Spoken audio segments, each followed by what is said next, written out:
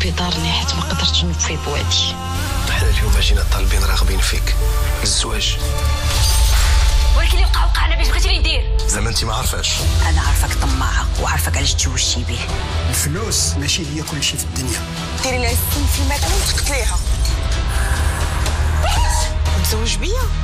بغيت فلوسي. غادي نفرقع حتى الرمان. كيفاش؟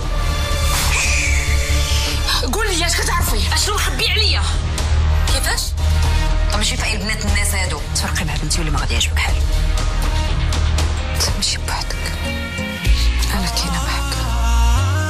موعدكم مع السلسلة الجديدة جوديا. مساء كل اثنين على الأولى.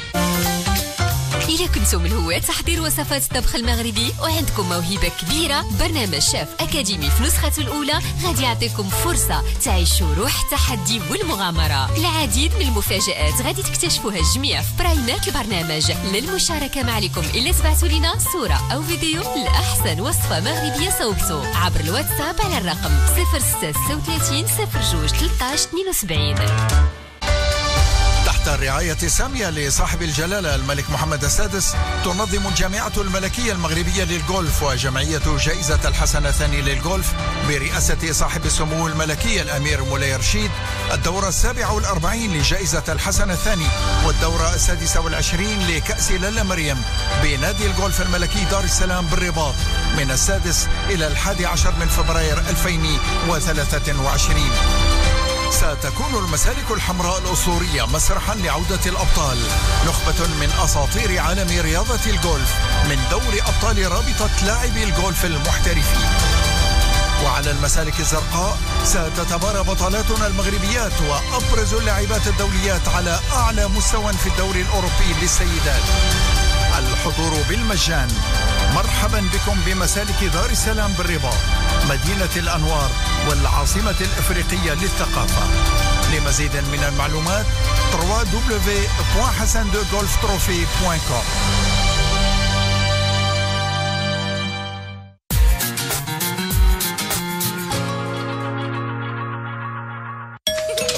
مرحبا بكم. نهار كبير هذا. زيانيتي شي سر هذا؟ من بعد نعاود لك الشيء واللي كيبغي خويا غادي تبرد يعطيك الصحة. فيتي جبتي الزيت في البلاد وفتيتها غير هنا ما فيش زيت الزيتون. فيه الزعفران والزيتون وزيد وزيد والبعيد ولا قريب. شوفوا كاع المنتوجات المحلية ولات في السوبر مارشي بلا ما تسافروا ليها. وفي هذا الشيء الطبيعي عندهم حتى مواد ديال التجميل وهذا هو السر ديالي.